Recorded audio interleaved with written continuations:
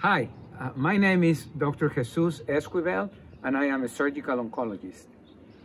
I decided to go into medicine because my dad was a surgeon, and he told me that uh, that would be a very good profession, and I had a, an opportunity to work with him when I was growing up, and I got very interested, and I have never regretted.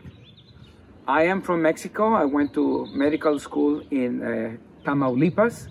And then my dad said, if you want to be a surgeon, you have to go and train in the United States, uh, but don't marry an American, uh, because if you do, you won't come back to Mexico. So I came and I went to uh, New York, married an American, and here I am. Once I completed general surgery, I knew that I needed to subspecialize.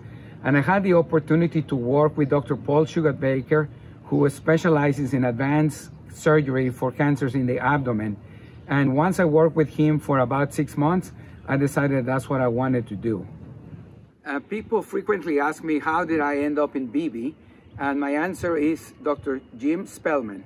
He also specializes in advanced surgeries in the abdomen, and I have been collaborating with him through different projects, uh, probably for more than a decade.